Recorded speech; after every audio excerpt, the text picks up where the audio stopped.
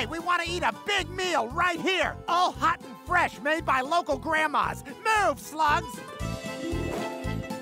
Excuse me. This meal is so good. But I was wondering, pretty please, could we eat this on a cliff overlooking the ocean? I'm sorry, that's not something we're able to do. Well done.